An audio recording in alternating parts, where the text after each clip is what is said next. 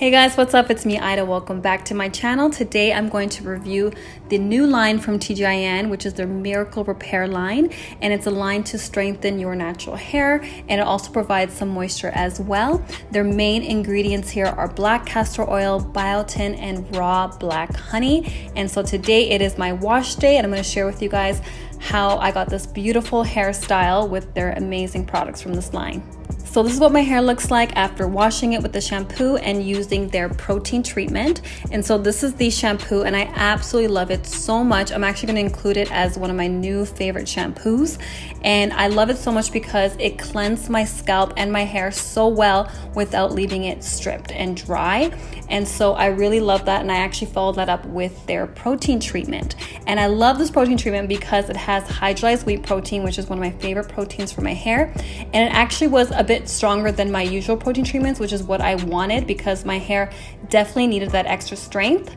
But I love that it didn't make my hair feel super hard. I just had to make sure to follow that up with a very moisturizing deep treatment. Okay, so I'm gonna start off with sectioning my hair and I'm going to apply their Miracle Leave-In. And this is one of my favorite products from the line because it is so moisturizing, you guys. It's very, very rich in texture and just really absorbs so easily into my low porosity hair, which is such a bonus for my hair. I always make sure to smooth that in and focus more on the ends. And what I also loved about this leave-in conditioner is that it smells so amazing. The smell just lingers in your hair all day long and it just smells so amazing. It's kind of like a floral, fresh scent. So I really, really love that so much.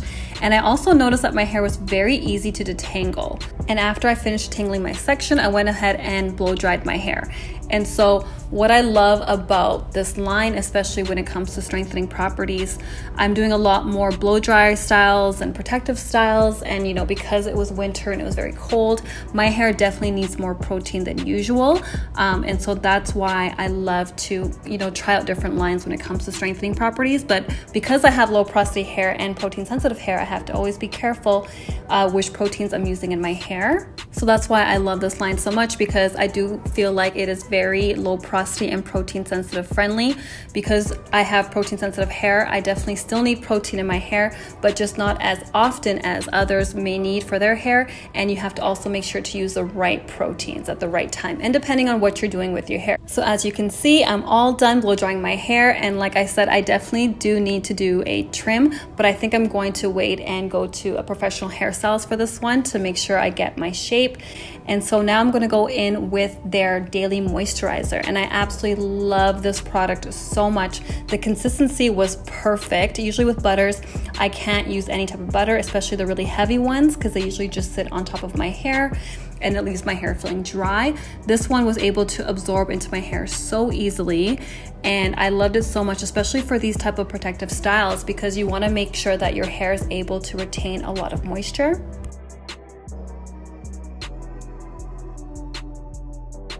Then I'm gonna go ahead and seal that in with their anti-breakage serum. And their main ingredients there is the coconut oil and also the raw black honey, but it's also a mixture of other oils together as well. And I love it because it's so nice and light and it seals in all that moisture. And this will ensure that the hairstyle lasts all week, nice and moisturized. And I just wanted to mention for those that have low porosity hair and protein sensitive hair like I do, I can use coconut oil when it is mixed in with other oils and other ingredients.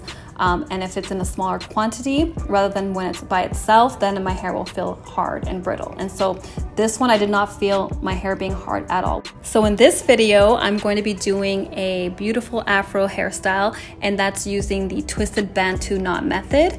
And so it's super easy. I just take small to medium sections of my hair and then put it into a regular twist and then wrap it around that section into a bantu knot out. And I love this hairstyle so much because it's beautiful, it's super easy to do, it doesn't take long, and it's comfortable to sleep at night with the hairstyle, and you don't have to wait two, three days for your hair to dry because it's already blown out. And it's just very easy to keep your hair you know detangled when it's in a protective style as well.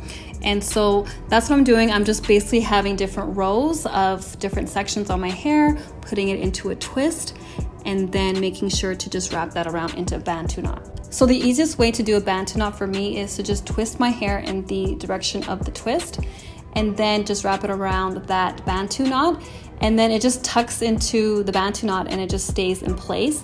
Um, if you are having a hard time keeping your bantu knot in place, then you can go ahead and use a bobby pin or an elastic band. But if you have enough moisture in your hair, uh, with a product, then it's really easy to keep that bantu knot in place without any other product.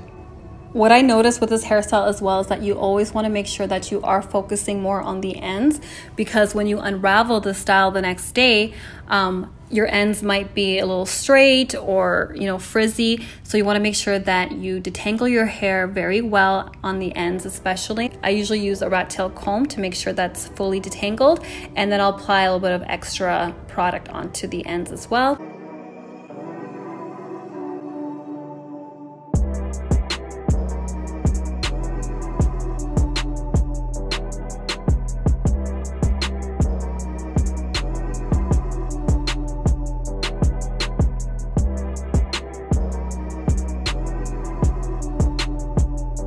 All right, so I'm all done now putting all the bantu knots in my hair and this is what it's looking like. I wasn't too perfect with the spacing and anything like that. It doesn't really matter as long as you try to have every section you know, considerably the same size, um, but it doesn't have to be perfect or anything like that because like as you'll see right now, once I take it out the next day and fluff it out, it's just gonna look like a beautiful afro. So I'm gonna go ahead and take the serum again and apply that on my hair. And this is gonna help, you know, minimize the frizz when I'm taking it down.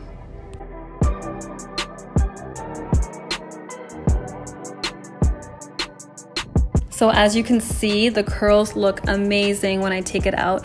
And I actually like doing a twisted bantu knot rather than a regular one because I notice that the twists provide more texture into the hair. And so that's what I really love as well. So I'm gonna go ahead and take all the bantu knots out and separate the twists. And then from there, I'm gonna go ahead and separate the twists into smaller sections. And I usually basically just let the twists and the sections fall uh, naturally so that I can minimize the frizz. And basically, the more you separate, the more fluffy your hair will get, but also it'll be less defined as well. So it depends on how you want your hair to look. But I was loving the way my hair felt and looked, especially. My hair felt super moisturized, super soft. I was really, really surprised because sometimes when you do a style on blow dry hair, Sometimes your hair can look dry the next day because the heat kind of dried out your hair and it's hard to put back that moisture. But I was very pleasantly surprised at how well my hair looked, especially after using, you know, a protein treatment.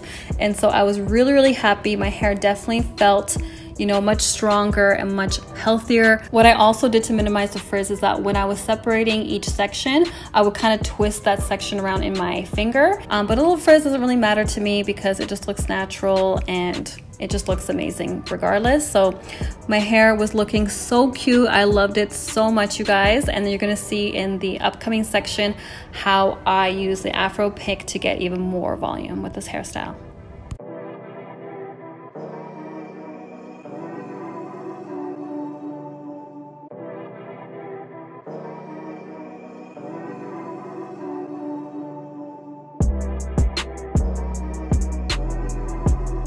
Picking out my hair with these hairstyles is like my favorite part because I just love big hair. The bigger the better for me. So I can't wait to, you know, grow my hair even longer to get you know, a bigger fro, but I absolutely love this part.